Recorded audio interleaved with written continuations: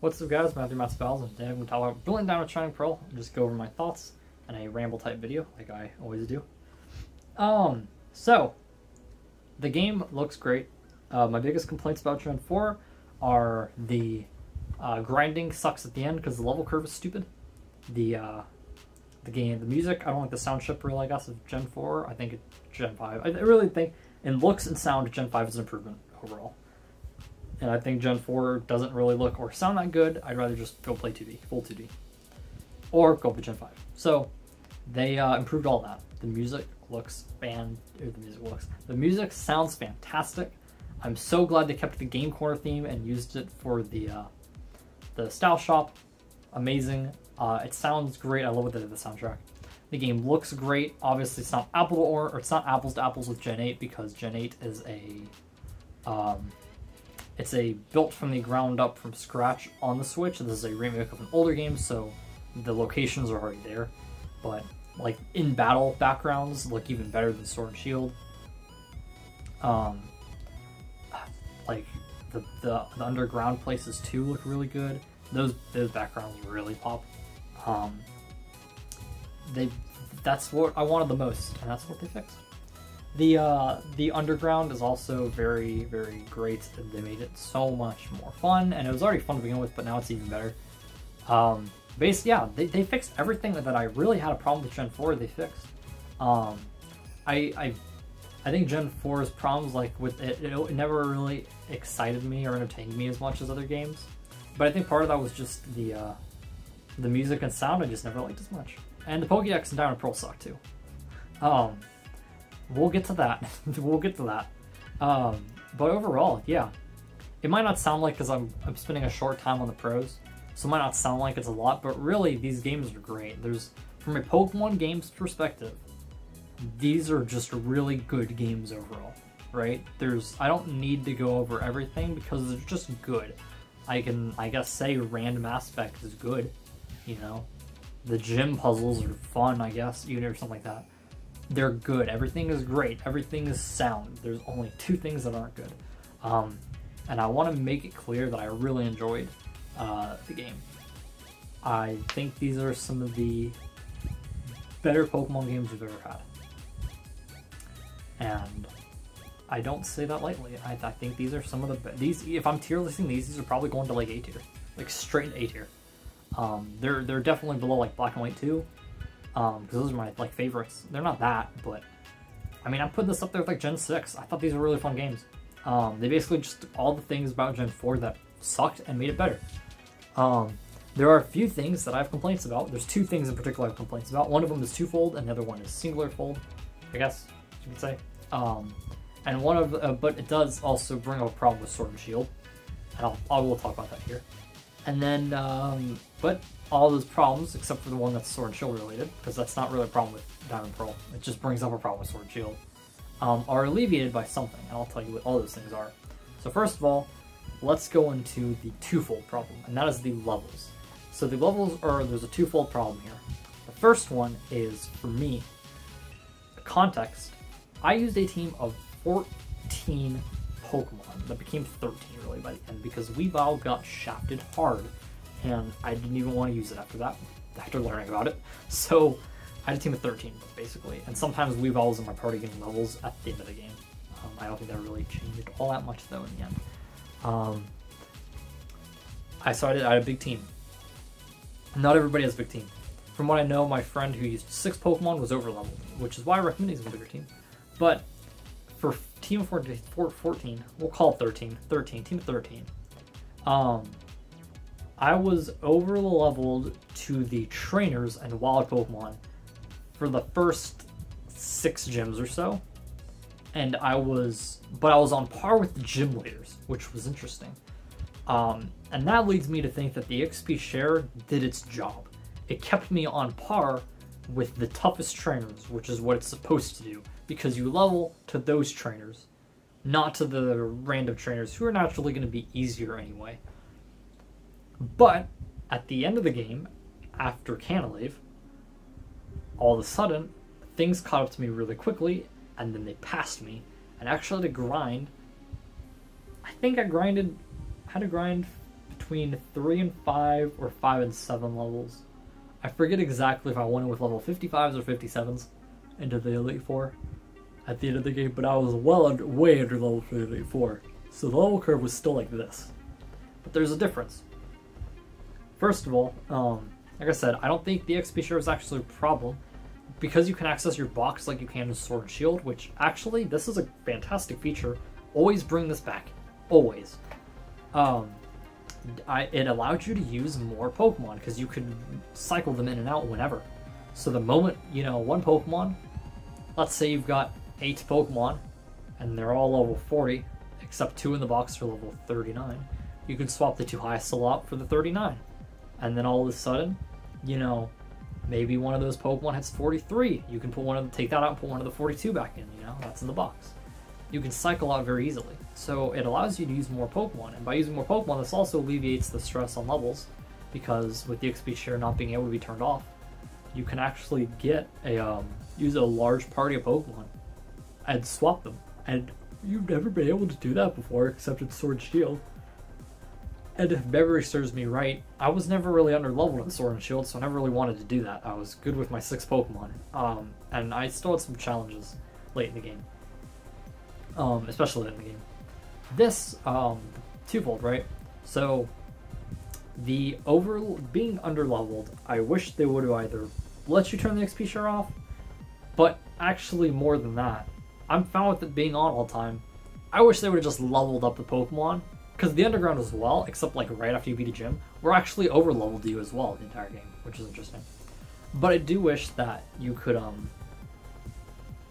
I was gonna say um, I wish that the trainers and the wild Pokemon were a little bit higher leveled early in the game.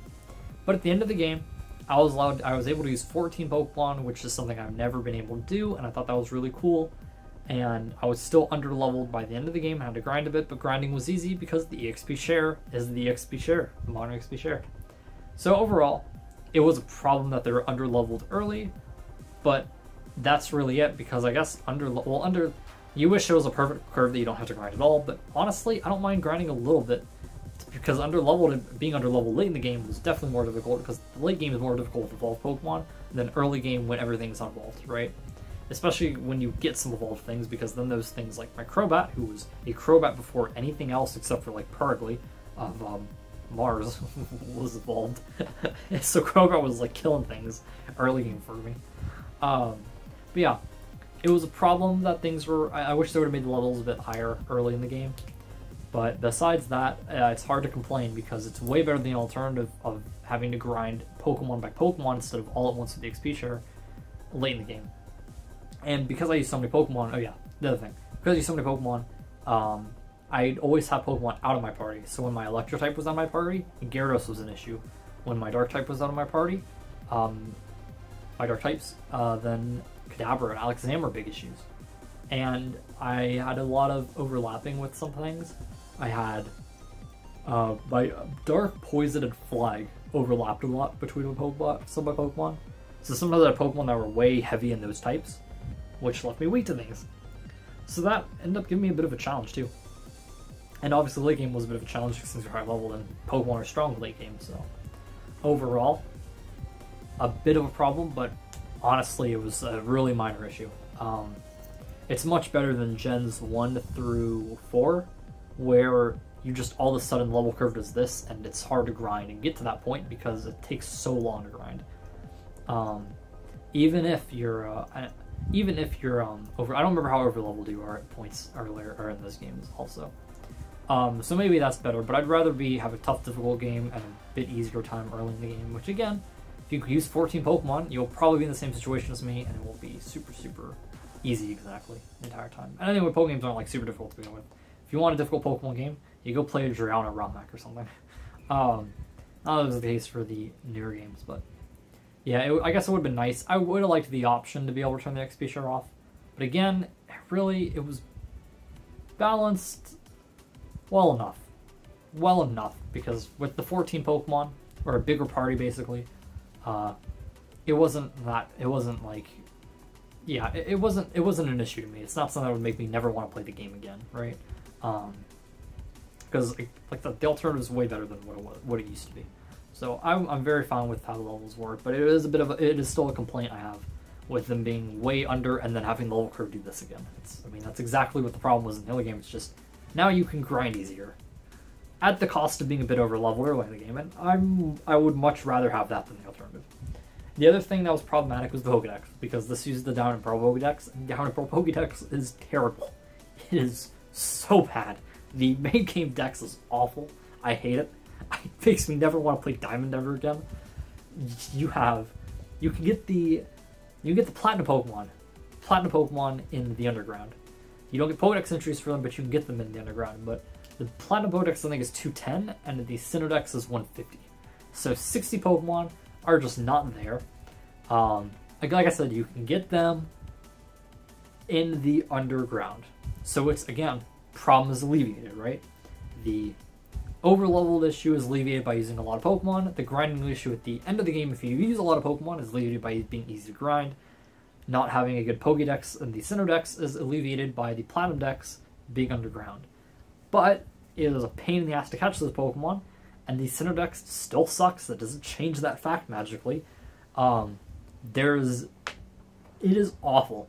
All of those cool, you know, we think back. What's one of the things we like about Gen Four? Oh, where they give all those cool evolutions. You know, Magmortar, Electivire, Rhyperior, Yanmega.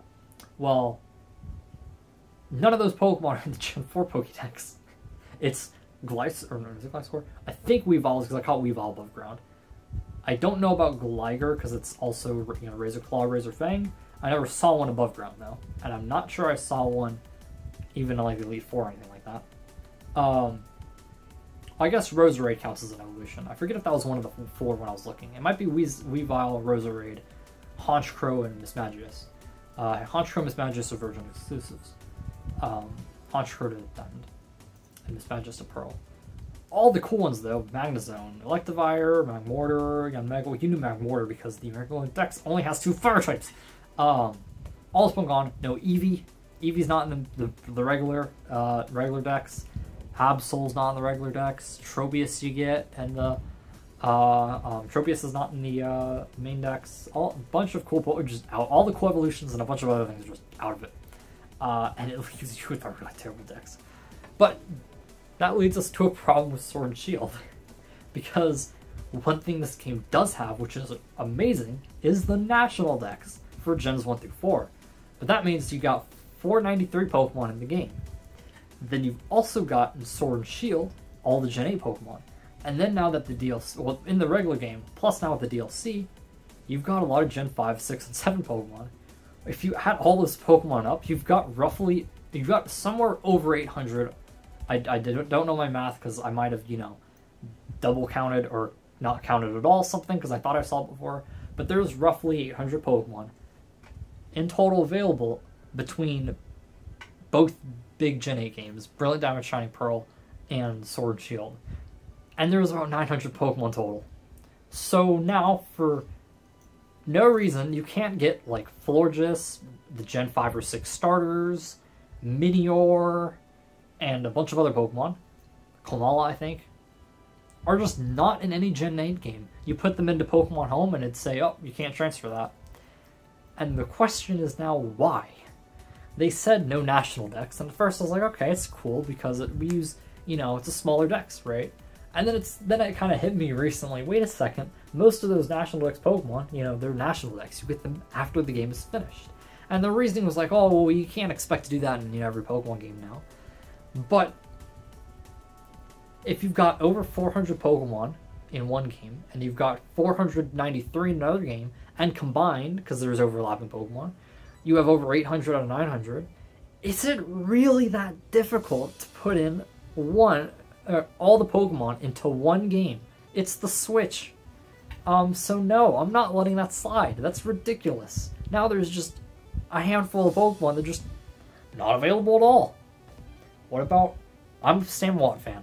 Samurott's one of my favorite Pokemon, and I know a lot of people might not be Samurott fans, but they are probably Greninja fans, who's in Smash, as you can see by my amiibo.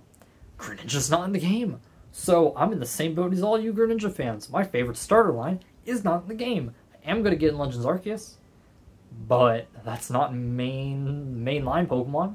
So why can't you just stick these Pokemon in so we can have them in just one singular Switch uh, or generation specifically uh, for a game this generation?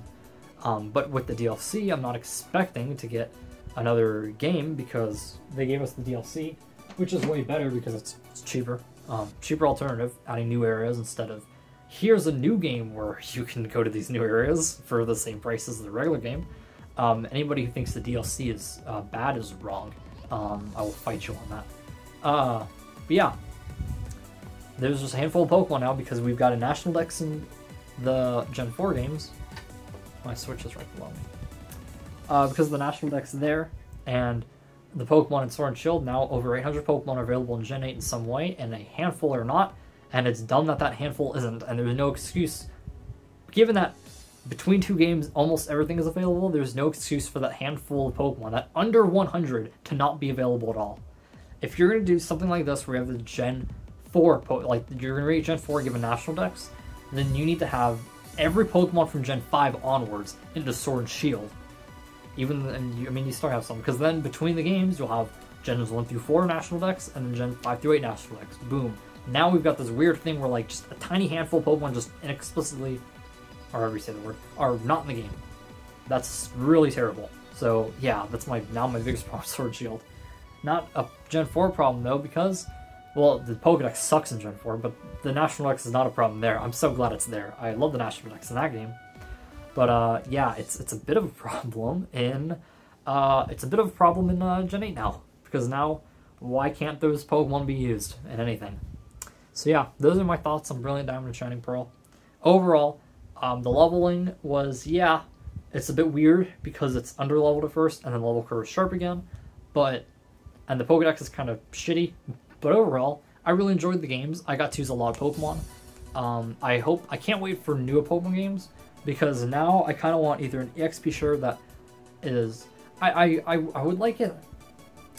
Okay, basically, I'm really excited for the National Dex and uh, Pokemon Home, so I can get to uh, so I can breed Pokemon and put them on this game because then I have four. You know, I've got every Pokemon as an option, right?